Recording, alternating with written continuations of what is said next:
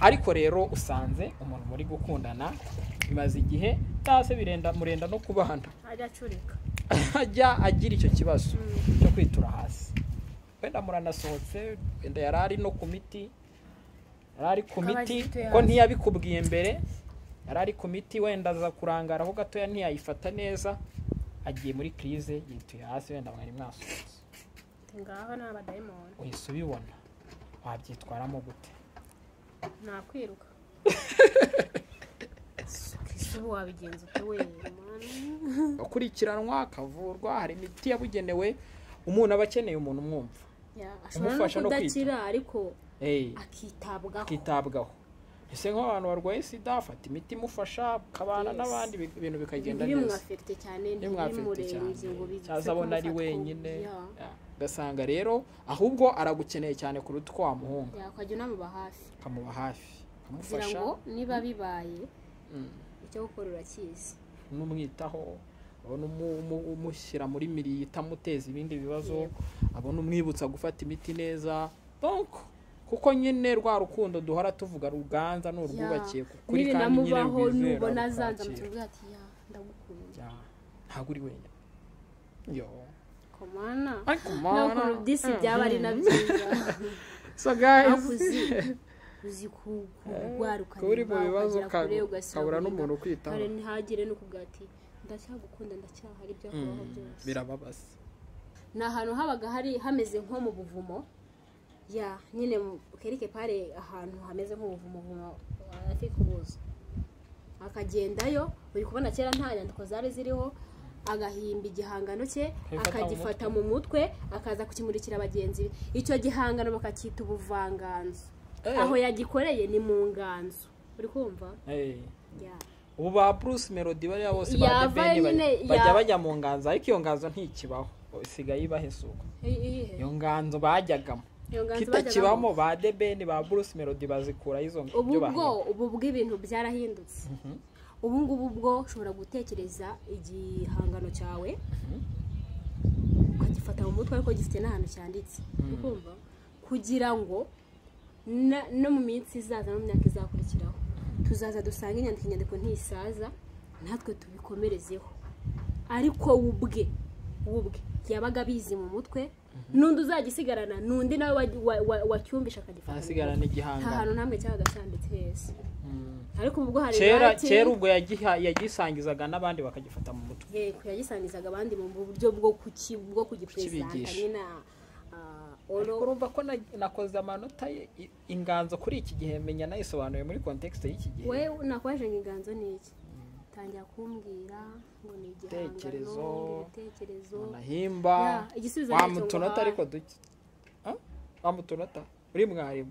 Hello hi rwanda hi people our people our girls people. Mumeze gute muraho? Muraho neza. Murakomeye?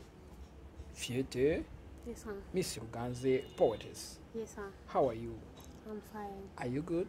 Yes i'm you good? Good okay amashyo amashyundo iri umugabo ndamushima. Kutavuze ngo ndamukugize. Mhm. arya abundi ibyo byaje gute ibyo ni bimwe byo kuyobya imvugo dusigaye twica imvugo tubishaka. Ni ukuyobya imvugo ni ukuvuga ibintu bidafite bitari byo. Kandi kwica ururimi ntabwo ari byiza. Kwica ururimi si byiza. Cyane ko ari n'ururimi rwawe wize ngo wize ubuvanganzo. Mwari muzi ko miss rugaze yis- yize ubuvanganzo. Inganzo ni iki ubundi? Inganzo. Ndashayayo gati ndayinywa pe. Dore igihe gishize. Ahubwo mbaza ahubwo aba ari njye ugurirayo gato nyine nugikora ndayikugurira. Eh inganzo. Inganzo ni isoko Mm. y'ubumenyi mu muntu ntebo sanse iyo bavuze inganzo bituruka ku buvanganzo nyine. Iyo bavuze inganzo wumva iki? Kuganza. Ubwo in- inshinga ze si ukuganza. Hari ukuntu kera twajyaga dufata ijambo tukaribyazamo nk'inshinga ibintu nk'ibyo. Mm. ubwo nimba ari inganzo ituruka ku nshinga yo kugira ute? Kuganza. Harimo kuva hari no kuganza. Ibyo ni ibintu bibiri. Harimo ibintu bibiri. Ubuvanganzo. harimo kuva no kuganza. noneho bavuze ubuvanganzo. Mm. bakakubaza ngo inganzo ni iki? Iki? Bro ubuvanganzo ni ibitekerezo sindi kugusobanurira se. Inganzo. Inganzo ni igitekerezo nyine cy'igihimbano inganzo ni igitekerezo. Inganzo ni igite ni poroduwi neza hagati yanjye. Ni poroduwi y'igihangano. Ni ni ni twabivuga ngo ikinyarwanda ko gikomera. Ariko nanagitsindwaga. Ugiye kubaza google se? Inganzo. Si inganzo ni iki? Inganzo. Inganzo si igihangano buriya neza kuri kumbaza nsubize. Inganzo ni igihangano. Mhm. ni igihangano Mm. umuntu ashobora guhimba Mm. akacyandika Mm. akivanye. Mu byo yaciyemo cyangwa se uko yumva ibintu cyangwa se uko abibona. Hehe. Aki?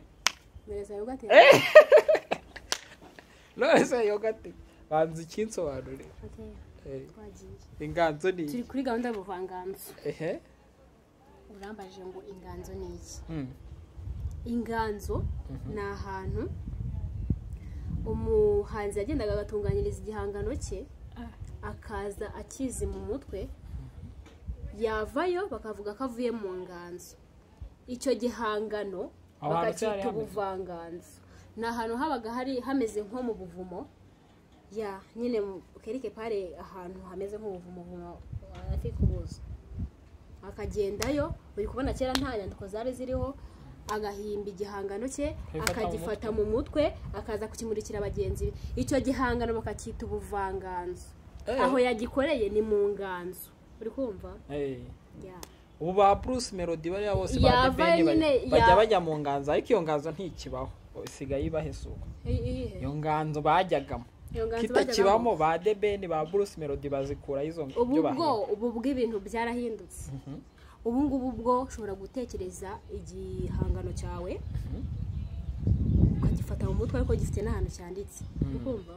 Kugira ngo no mu minsi izaza no mu myaka izakurikiraho. Tuzaza dusanga inyandiko inyandiko ntisaza natwe tubikomerezeho. Ariko we ubwe we ubwe yabaga abizi mu mutwe n'undi uzagisigarana n'undi nawe wa- wa- wa- wacyumvisha akagifata mu hasigarana mutwe. nta igihangano hantu namwe cyabaga cyanditse heza Mm. ariko ubu bwo hari kera ubwo yagisangizaga n'abandi bakagifata mu mutwe. Yego yagisangizaga abandi mu buryo bwo Kukibigisha. nyine urumva ko na- nakoze amanota inganzo kuri iki gihe menya nayisobanuye muri context y'iki gihe. We nakwaje ngo inganzo ni iki? Tangira kumbwira ngo ni igihangano Ibitekerezo, ibitekerezo. Nahimba Ya, igisubizo wa ni cyo ngo mutunota ha- ariko duke Ah? wa mutunota? Uri mwarimu. Hari imwe kuri zeru Ay! yes. Eh kumbi inganzo hari ahantu. Yes. Niyo point. Inganzo ni ahantu. Mm. Kuri iki gihe rero abantu basinze ahantu inganzo yabiri ariko inganzo iri ahantu hose.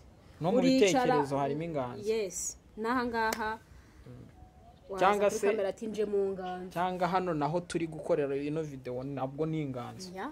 Ubwo n'ubundi style hagumye hakaba ahantu. Mm. umuntu ajya agatekerereza ikintu cy'igihangano. Yes. ubu bwo nabwo inganzo y'iki gihe twavuga ni ahantu ugiye gutunganyiriza icyo gihangano cyawe. Ushobora kuba uri muri sari iwawe uri kucyandika. Ushobora kuba wa- aho buriya siyo studio y- kuri iki gihe? Ya inganzo ntiyaba na yo studio. Studio ntiyaba inganzo? Studio.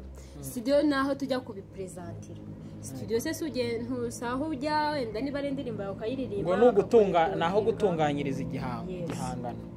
N'ubundi igihangano kiba cyamaze gu- gutunganywa.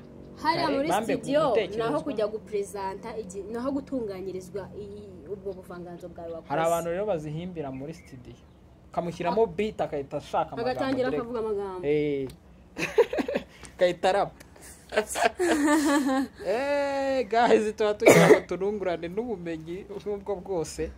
Ndumva unkomaguye ni ukuzashaka yogati yawe. Sinyweye. Nizere ko namwe mw- mwari muzi ko wenda inganzo ari ibindi bindi. Ni ahantu bahimbiraga. Ntabwo nabonye Mm. nyambo. Mm. bazina banjye mushiti wanjye. Ari kwamamaza akantu ko kunywa bita jinja jinja eh. Ka jinja nakuze akangurira. Eh, ni akuma kuma. mhm, ni akaji niba ari akaji niba ari akayoga sinzi Ni aka- ni akajisi yes umva. Mm. nyamba zakaguha zabwire nyamba akaguhe yego ko. Nzakigurira mu mbabarire njye ntabwo nsabiriza. So viyete rero reka tuhe ikaze abakunzi bacu nanone muri topic yacu tuza tuganiraho ku kari agaciro biba bikenewe. mu nganzo twivuguse mu nganzo dukuyemo ubuvanganzo bwinshi. Nabyo biba bikenewe. Em, Mm, na byo biba bikenewe. Uno munsi rero tuzanye indi topic. Muri uno minsi turi kuzana topic eh, zo mu buzima busanzwe ariko n'ubundi ziba zifitanye isano n'imibanire n'urukundo. Kubera ko abantu benshi bari kujya gutya kugira gutya bagakundana rimwe na rimwe wenda ntibabwirane ibintu byose byinshi bakazabimenya wenda batangiye kubana ugasanga bamwe hari ibyo batabasha kwakira bamaze kubana bitewe n'uko batari babizi. Ugize gutya. Ukundanye n'umuntu murakundanye wenda ntibinatinze. Ariko niyo mwaba mutarabana Mm. Gusa mwamaze gukundana you engaged murabizi mwamaze no kubiha umurongo muri committed mwese nyuma yaho gato usanze uwo muntu afite nk'uburwayi bukomeye ngiye kubabwira Eh, kubera ko hano kuri M250 TV tugunda kugaruka mu, mu biganiro bijyanye n'ubuzima bwo mu mutwe ariko tukagaruka n'imibanire tukagira aho bihurira hari ahantu biba buriya bijya bihurira. Mm. usanze umuntu afite ubwo burwayi bwo mu mutwe ni uburwayi bwo mu mutwe buzwi mu cyongereza nka epilepsy burangwa no kwitura hasi mu mvugo za kinyarwanda bakunda kubyita igicuri ngira ngo igicuri urakizi. Ese ubundi buriya ni uko kiba byita igicuri? Bo byasaba gucukumbura tukareba umuntu wa- wazanye iyo nyito. Ariko ubundi ngira ngo ngira ngo hari n'ibindi bajya bavuga ngo umuntu afite igicuro. Ni igicuro ni igicuro. Hari igicuro hari n'igicuri. Mm. aho tuzashaka inzobere mu so ko wize ubuvanganzo wowe ntiwamenya ahantu byaturutse. Ntabwo na- naza hano ngo mpite mbwira abantu gutya na gutya Eh, byasaba ko uba ufite referanse ntabwo nje naza hakubeshya abantu. Eka ibyo- iryo zina reka tube turiretse ariko iyo tuvuze igicuri ngira ngo Ya, abanyarwanda benshi bahita babyumva. Ariko ubundi mu ndimi z'amahanga byitwa Epilepsy. epilepsy. Ni indwara yo mu mutwe ufata igice cy'ubwonko bitewe n'uko habayemo impinduka mu, mikorere cyangwa se imiterere y'ubwonko umuntu akagira ibimenyetso bimwe na bimwe byo kwitura hasi agata ubwenge akazana urufuzi n'ib- n'ibindi bimenyetso bigiye bitandukanye usanze rero uwo muntu gusa amatsiko wenda turi buze kuyabamara ni indwara nk'izindi igakira umuntu akamera neza turaza kubibona ashobora Yeah. gukira cyangwa se ntinakire ukagumya kuba managed mu buryo runaka bumwe cyangwa ubundi Mm. Ubuzima bugakomeza. Ariko rero usanze umuntu muri gukundana bimaze igihe cyangwa se birenda murenda no kubana ajya acurika. Ajya agira icyo kibazo Mm. cyo kwitura hasi. Wenda muranasohotse wenda yari ari no ku miti yari ari ku miti ko ntiyabikubwiye mbere yari ari ku miti wenda aza kurangaraho gatoya ntiyayifata neza agiye muri kirize yituye hasi wenda mwari mwasohotse. Ngaho ni abadayimoni uhise ubibona. Wabyitwaramo gute? Nakwiruka. Ubu wabigenza ute we gusa ntabwo aba ame- aba ame- kandi atamera nk'upfuye. Yego atakaza ubwenge mu minota runaka cyangwa se mu masegonda runaka bitewe n'uburyo uburemere bw'iyo kirize ariko igihe kiragera nyine akongera akagaruka akagarura ubwenge. Kubera ko nyine ni ikibazo kiba kiba ku bwonko. Iyo ndwara iba muri kategori yitwa niro niro neuropsychiatric disorder. Ni indwara nyine zifata cyangwa se zangiza imikorere y'ubwonko. Eh, bitewe n'uduce dutandukanye tugize ubwonko tuba twarangiritse ugasanga umuntu agenda agira ibibazo byo kwitura hasi cyangwa agatakaza ubwenge mu gihe runaka. usanga ubwonko wenda buba burimo nk'ingese cyane ukuri rero ari kuza rero ku- ubu uri kumva twaba turi kumwe Mm, wowe nturanamenya n'ibyo ari byo ntuzi ngo n'igitera iyo ndwara kuko hari n'uhita avuga ngo ni abadayimoni. Mm. cyangwa se bamuroze. Ngewe rero reka nkubwire wabyitwaramo gute? aho hantu yego rwose pe sheri yansohokanye. Mm, turi kurya turi kunywa. Mhm. nkabona ararabije amaguru yikubise hasi. Nayiha umunwa. Ego ku bwoba none ubwoba naba mpagaze. Sinzi ukuntu nabigenza gusa ndumva. Mubaye mwasohotse rwose navuga ko bamwishe abantu baba babaho ntibankera ahubwo wabibwirwa n'iki wahamagara polisi? Ehe.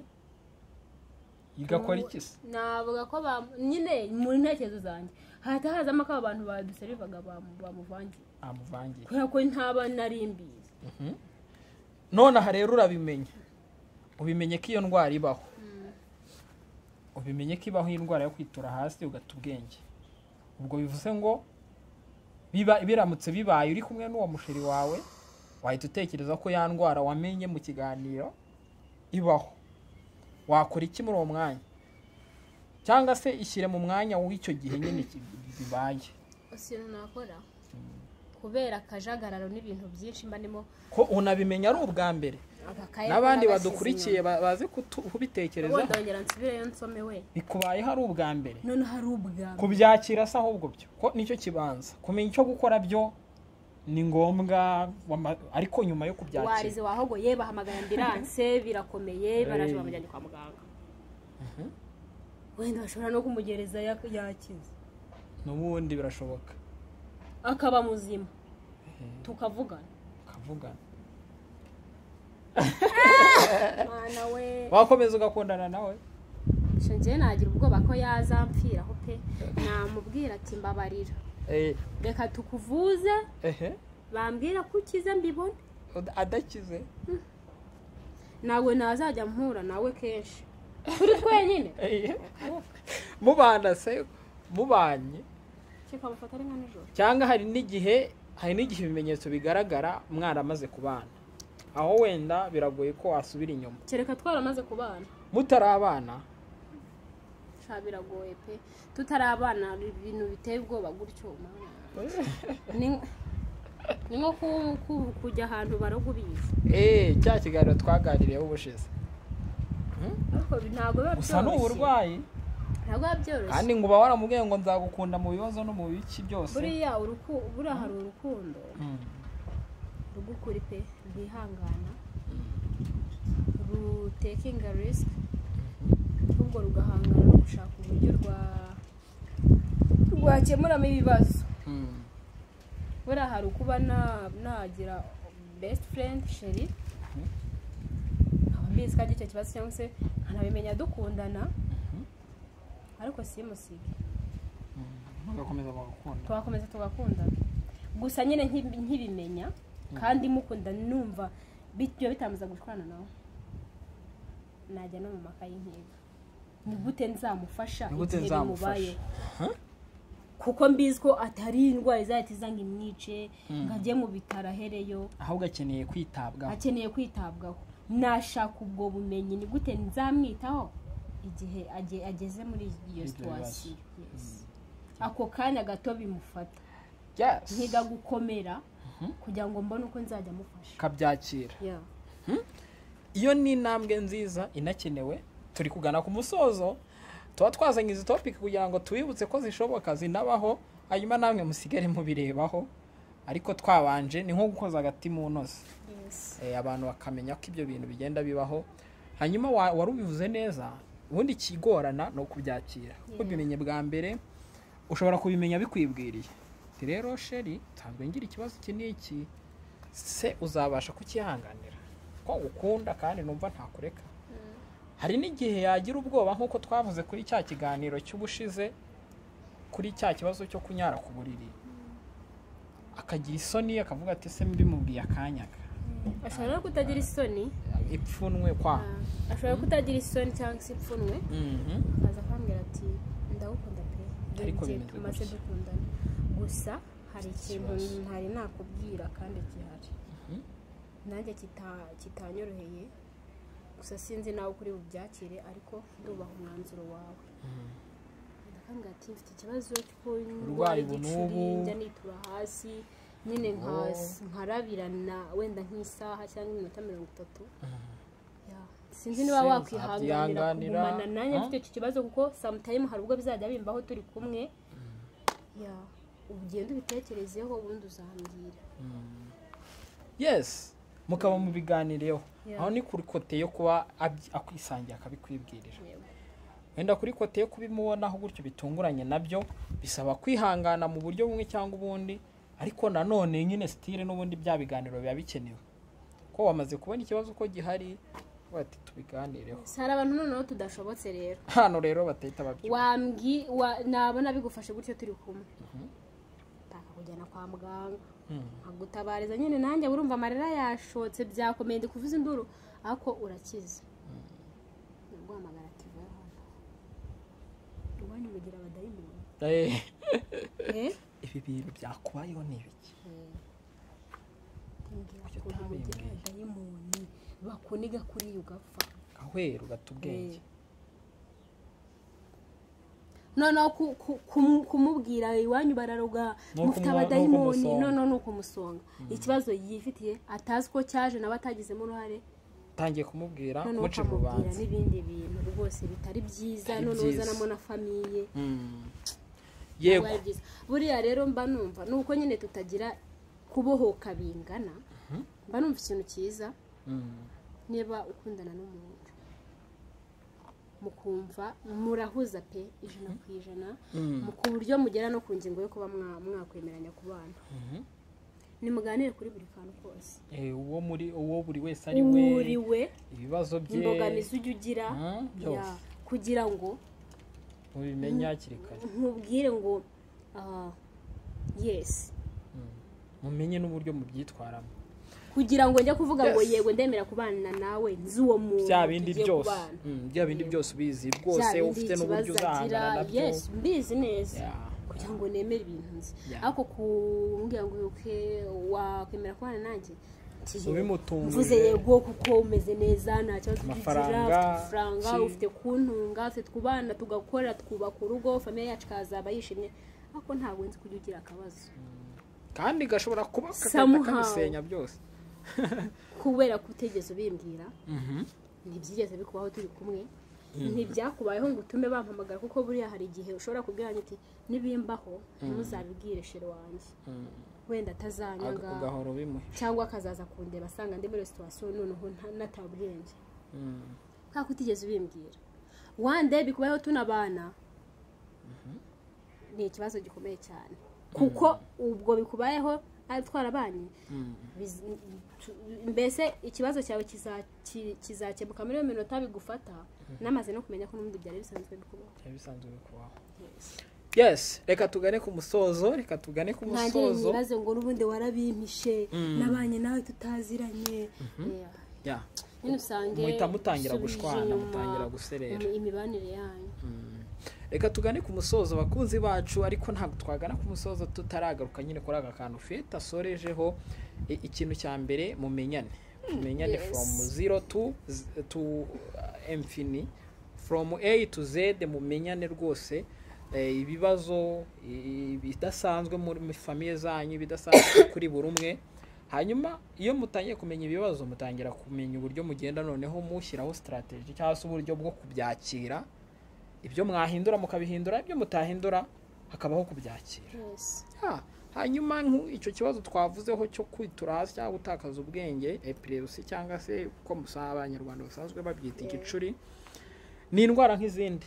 Ni indwara nyine ifata umuntu agakurikiranwa akavurwa hari imiti yabugenewe umuntu aba akeneye umuntu umwumva. Umufasha no kwita. ariko akitabwaho. Ese nk'abantu barwaye sida afata imiti imufasha akabana n'abandi bi- ibintu bikagenda neza. ntibimwafekite cyane cyaza abona ari wenyine. Ugasanga rero ahubwo aragukeneye cyane kuruta uko wamuhunga. Ukajya unamuba hafi. Ukamuba hafi. Ukamufasha ngo niba bibaye mm, icyo gukora urakizi n'umwitaho abona umu- umu- umushyira muri miri itamuteza ibindi bibazo abona umwibutsa gufata imiti neza kuko nyine rwa rukundo duhora tuvuga ruganza ni urwubakiye ku kuri kandi nyine Ya, ntabwo uri wenyine. Yo. Komana ku disi byaba ari na byiza so guys. Uzi uzi ku- kurwaruka kuba uri mu bibazo ukabura n'umuntu ukwitaho kare ntihagire n'ukubwira ati ndacyagukunda ndacyahari ibyo kubaho byose. birababaza. Birababaza cyane. Ya, nawe ubwe yumva yiyanze rimwe na rimwe akumva yakwiyambura ubuzima. Kubera ko- aba avuga ati ndi ikibazo nanjye ubwanjye Nanjye ndi ikibazo, ndabahangayikisha undi- ubundi Ya. mbere y'iki Ugasanga nyine ugasanga umuntu yariyanze yarihebye rero wakabaye kuba uhari ku bwe kugira ngo umuhe ibyishimo mu buzima umuhe imbaraga umufashe. ku buryo byibuze yajya avuga ati basi ndiho ku bwawe Ya, wow. mfite umuntu. Yes mfite umuntu uba hafi. yo ibintu bimeze neza. Mm. yego. Yego. Sofiyete misi ruganze poetesi reka ngushimire cyane rwose kuri ibi bintu tuganiriye. Hanyuma n'abakunzi bacu ndabashimira cyane mukomeje kutwereka urukundo mukora sabusikarayibu ku bwinshi mutwereka ko turi kumwe ibitekerezo n'inyunganizi haba muri kombiti cyangwa inyuma ya, ya kamera reka nabo tubashimire. Ya wakoze cyane. Namwe wakoze cyane. So ciao ikiganiro cyacu nakagaruka kora subscribe nk'ibisanzwe kugira ngo tujye tubana hanyuma ukore like niba wanadukunze udufashe gusangiza abandi mbese buri kimwe cyose ukwiyeho kudutera inkunga wagikora rwose. Tunabibutsa ko tubahuza n'inzobere byaba mu gihe umuntu afite icyo kibazo nk'icyo ngicyo dushobora kumufasha kumurangira ahantu. Burya ndanabibutsa ko kuva kuri santere du sante kugera ku bitaro bikuru ibibazo by'umutwe biravurwa. Ushaka no kujya muri pirive ushaka no kuvugana n'abaterapisite bandi ushobora kutwandikira tukagufasha mu buryo ubwo ari bwo bwose bwakorohera. Kuba wabona ubufasha ubwo ari bwo bwose bujyanye n'ubuzima bwo mu mutwe ndetse ciao Bye. ciao